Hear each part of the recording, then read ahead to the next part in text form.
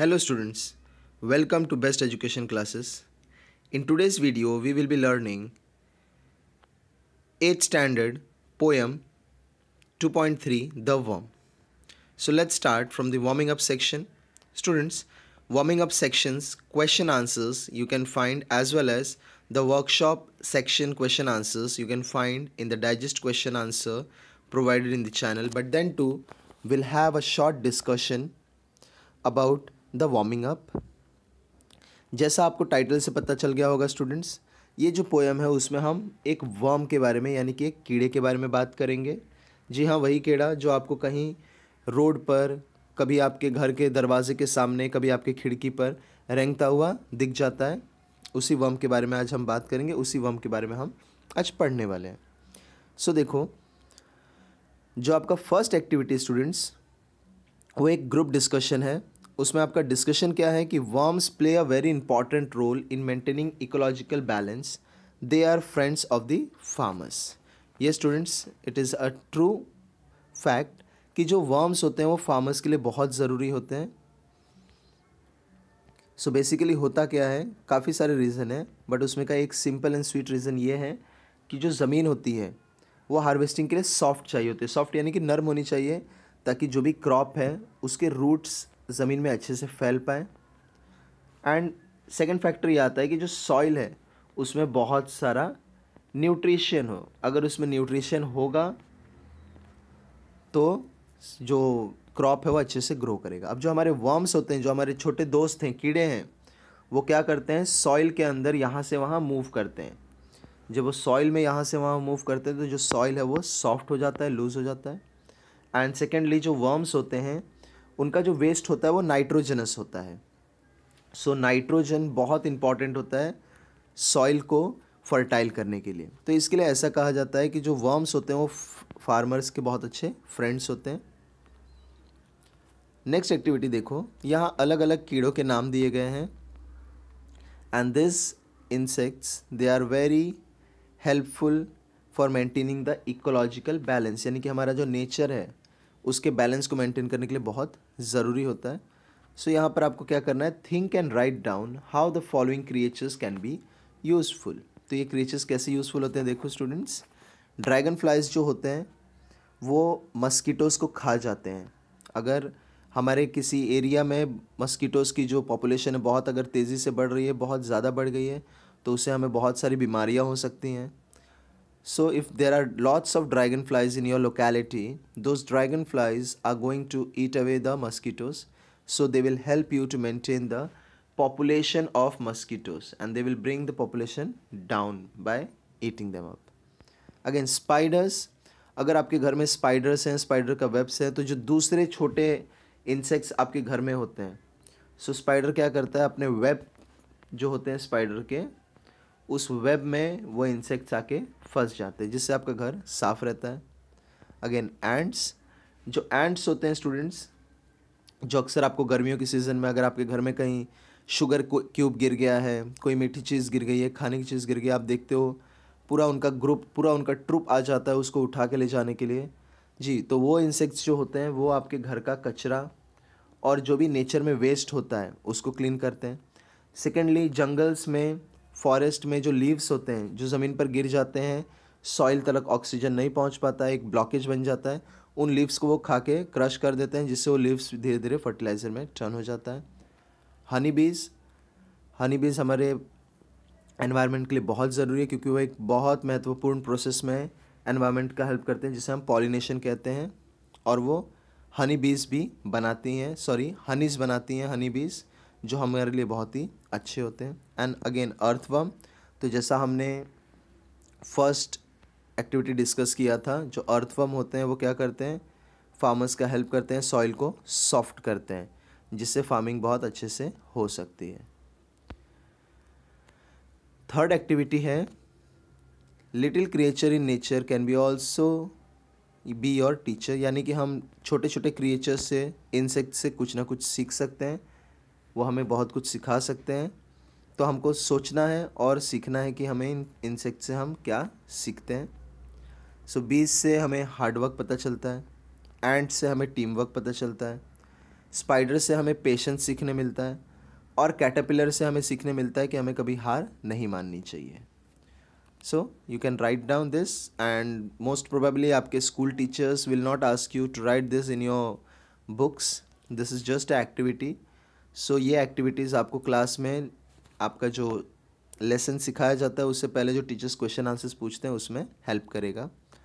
Students जो fourth activity है वो क्या कहती है? Breeding worms to use them to convert organic waste into fertiliser is called vermiculture and vermicompost so इसके बारे में आपको थोड़ा सा रिसर्च करना है थोड़ा सा आपको एक्सपेरिमेंट्स करना है। मैं आपको बहुत शॉर्ट में बता देता हूँ कि ये क्या होता है। जो वर्म्स होते हैं स्टूडेंट्स जैसा मैंने आपको बताया कि वो सॉइल के अंदर सॉइल को सॉफ्ट करते हैं उसकी फर्टिलिटी बढ़ाते हैं। वैसे जो वर्म्स होते हैं वो ऑर्गेनिक वेस्ट को भी फर्टिलाइज़र में कन्वर्ट करते हैं। सो so, उस प्रोसेस को वमी कल्चर या वमी पोस्ट कहा जाता है। अब ऑर्गेनिक वेस्ट क्या होता है? जैसे कि आपके घर में आपकी मॉम जब सब्ज़ी बनाती हैं तो जो वेस्ट सब्ज़ियाँ बच जाती हैं सड़ी गली जो सब्ज़ी बच जाती हैं सब्ज़ियों के छिलके बच जाते हैं वो एक तरीके का ऑर्गेनिक वेस्ट होता है। तो ये ऑर्गेनिक वेस्ट को वर्म्स के हेल्प से फर्टिलाइज़र में कन्वर्ट किया जाता है। उस प्रोसेस को वमी कल्चर या वमी कंपोस्टिंग कहते हैं। सो so, इसके लिए आप कुछ वीडियो सर्च कर सकते हैं जो आपको काफ़ी इंटरेस्टिंग और काफ़ी अच्छे तरीके से आपको बताएँगे। एंड सेकेंडली इसके लिए आप एक छोटा सा एक्सपेरिमेंट भी कर सकते हो। आप क्या कर सकते हो एक्सपेरिमेंट में, जो आपके घर पे फ्लावर पॉट होता है, उस फ्लावर पॉट में या फिर एक वैसे ही मिलता जुलता कोई वेसल हो, कोई प्लास्टिक का कंटेनर हो, जिसमें आप थोड़ी सी मिट्टी ले लो, उस मिट्टी में आप अपने आसपास के गार्डन में से with help of your parents आप वर्म को लाकर उसमें डाल दो। एक दो वर्म से डालना स्टूडेंट्स एंड उसके बाद आपके घर में से जो भी पटैटोज़ के या अलग अलग सब्जियों के जो भी वेस्ट निकलते हैं, वो सारा वेस्ट आपको क्या करना है? उस कंटेनर में डालते रहना है। And you will see that with time those worms will eat up all the waste vegetables and turn them into fertiliser तो ये वमी कंपोस्टिंग आप एक घर में अपने खुद बना सकते हो वमी कल्चर आप खुद भी कर सकते हो and you can learn lots of thing from that एक यूज़फुल एक अच्छा तरीका होगा जिससे आप वेस्ट को बेस्ट में कन्वर्ट करोगे। Now moving towards the poem let's see the poem the worm so जैसा कि आप यहाँ फ़ोटोज़ में भी देख पा रहे हो अपने टेक्स्ट बुक में, कि इसमें हम किसके बारे में स्टडी करने वाले हैं? एक वर्म के बारे में स्टडी करने वाले हैं, एक वर्म के बारे में देखने वाले हैं। एंड इस पोएम का थीम है, जो पोएट है हमारे थॉमस वो हमें सिखाना चाहते हैं, वो हमें कहना चाहते हैं कि हमारे प्लानट अर्थ पे, हमारे इस दुनिया में जितने भी कीड़े हैं या जितने भी जीव जंतु हैं लिविंग ऑर्गेनिजम्स हैं all the living organisms are a gift of God and God has gifted them life तो हमें इंसान होने पर ज़्यादा प्राउड नहीं होना चाहिए। एंड अगर हम किसी का जान ले सकते हैं या किसी को मार सकते हैं that doesn't means that we should kill them so ये हमें सिखाना चाहते हैं और हमें बोलना चाहते हैं कि हमारे अर्थ पे, हमारे इस छोटी सी दुनिया में जितने भी जीव जंतु हैं, वो सब ज़रूरी हैं इस एनवायरनमेंट के लिए, इस नेचर के लिए। तो हमें उन्हें मारना नहीं चाहिए, हमें उन्हें चोट नहीं पहुंचाना चाहिए, बल्कि हमें उन्हें एक लिविंग ऑर्गेनिज्म के जैसा, जैसे हम अलग दूसरे ह्यूमन बींग्स को ट्रीट करते हैं, वैसे ही हमें उन्हें भी ट्रीट करना चाहिए। हमें उनकी लाइफ लेने का कोई हक या अधिकार नेचर ने नहीं दिया है। So let's see the poem turn turn thy hasty foot aside nor crush that helpless worm so poet क्या कहते हैं? आप समझो कि आप कहीं से जा रहे हो, आप बहुत तेज़ी में हो हैस्टी हो, यानी कि हरीड हो और केयरलेस हो। आप ध्यान नहीं दे रहे हो कि उस रोड पे या उस ज़मीन पे जहाँ पैर रखने वाले हो, अपने फुट को रखने वाले हो, उसके नीचे एक वर्म है। तो you should keep turn turn यानी कि अपने कदमों को मोड़ लो। अपने केयरलेस कदमों को मोड़ लो असाइड कर लो साइड में कर लो। Nor crush that helpless worm तो ध्यान दो कि आप उस हेल्पलेस वर्म असहाय, जिसका कोई मदद नहीं कर सकता, उस वर्म को आप क्रश ना कर दो। क्रश यानी कि कुचल ना दो। The frame thy scornful looks deride required a God to form so वो जो फ्रेम है, वो जो मोमेंट है जो बहुत ही साउंडफुल होगा यानी कि साउंडफुल यानी कि उसमें सिर्फ़ और सिर्फ़ हेट नज़र आएगा। और आप सिर्फ़ और सिर्फ़ क्या करोगे? हेटरेट एक्सप्रेस करोगे किसी की जान को लेके।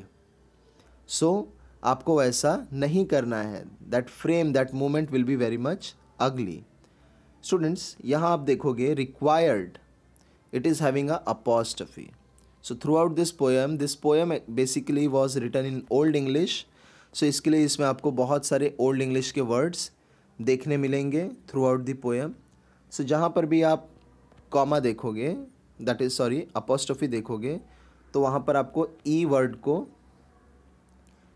फ्रेम आउट करना है रीडिंग के लिए एंड इसी पोएम में लास्ट में एक वर्ड है स्प्रेड ओवर तो यहाँ पर आपको वी रीड करना होगा okay that is method for saving letters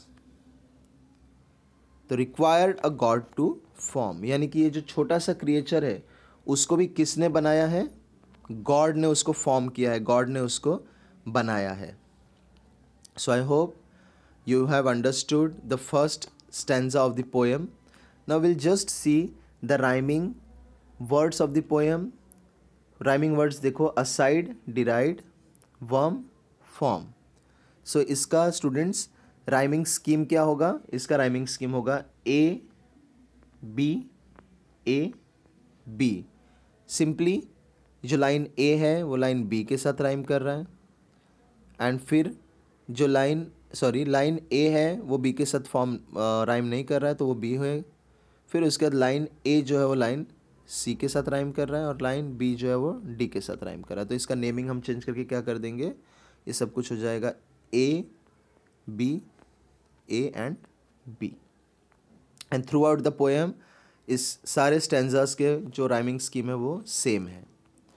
So let's move to the second stanza the common lord of all that move जो हमारे कॉमन लॉर्ड हैं, जिस लॉर्ड ने, जिस भगवान ने हम सबको बनाया है,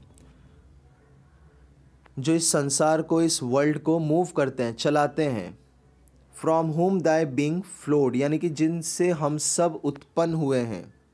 हमारा लाइफ जो है, हमारी ज़िंदगी जो है, वो एग्जिस्ट करती है उस लॉर्ड से।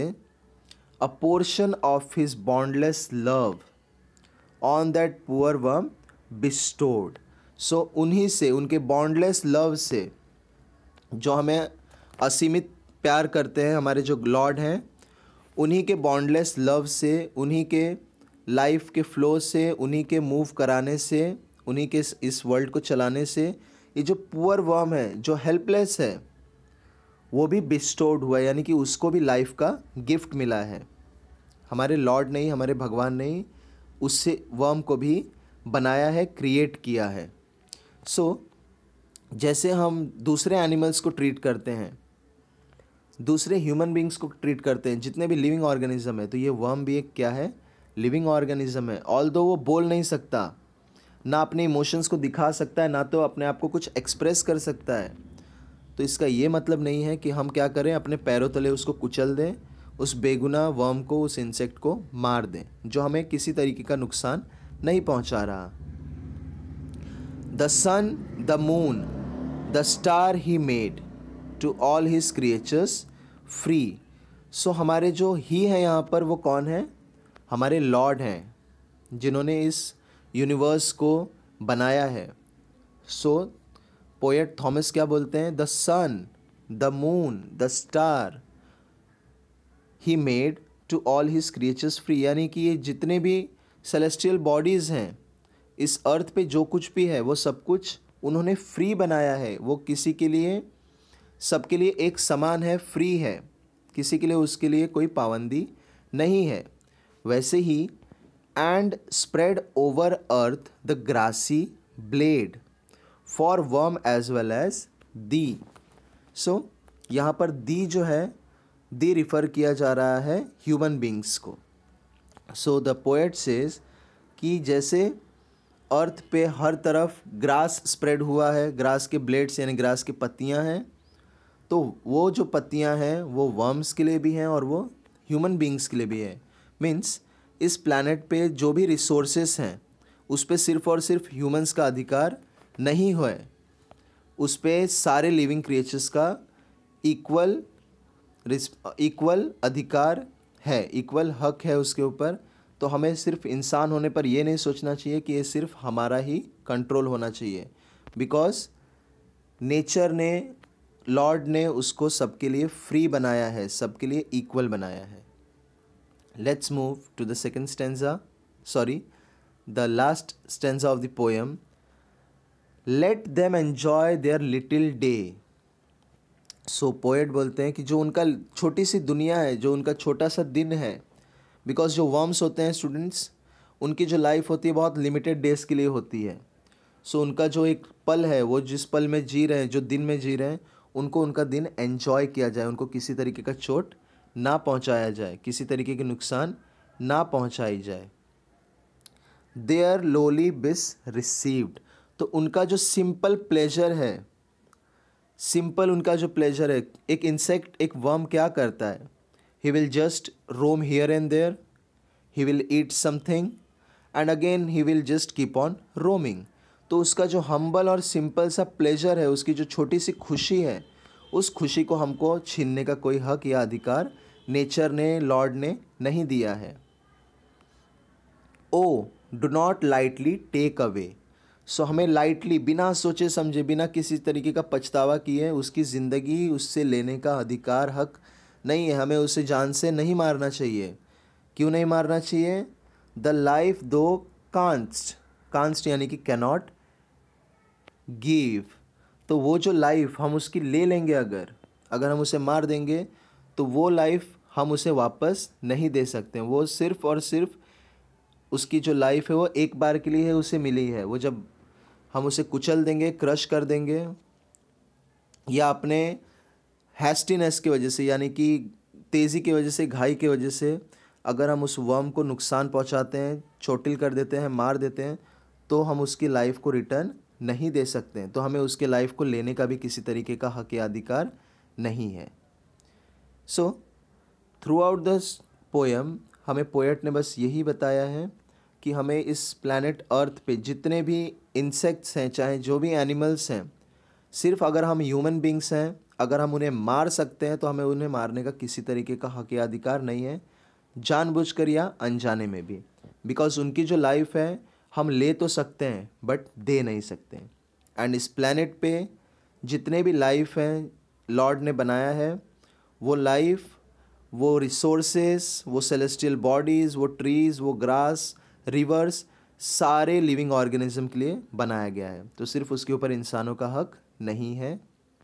और इन्होंने ये भी बताया कि कैसे एक छोटा सा वर्म हमारे नेचर के लिए, हमारे इकोसिस्टम के लिए इंपॉर्टेंट है। तो हमें ये भी नहीं भूलना चाहिए। Students throughout the poem अगर आप देखो तो इसका जो राइमिंग स्कीम है वो ए बी ए बी ही है। All this stanzas have the same rhyming scheme a very short poem written in a very simple old English language जो बहुत ईजिली आप अंडरस्टैंड कर सकते हो। So students will end up the video over here I hope you like the video please don't forget to hit the like button आप comment section में जाके comment करके हमें बता सकते हैं हमारे इस वीडियो के बारे में या फिर आपके और फर्दर डिमांड्स के बारे में। हम उसे ट्राई करेंगे कि आपको, आपके रिक्वायर्ड लेसन्स पे वीडियो प्रोवाइड की जाए। ऑल्सो इस लेसन का digest question answer already channel पे अपलोडेड है तो आप प्लेलिस्ट में जाके उसको देख सकते हैं।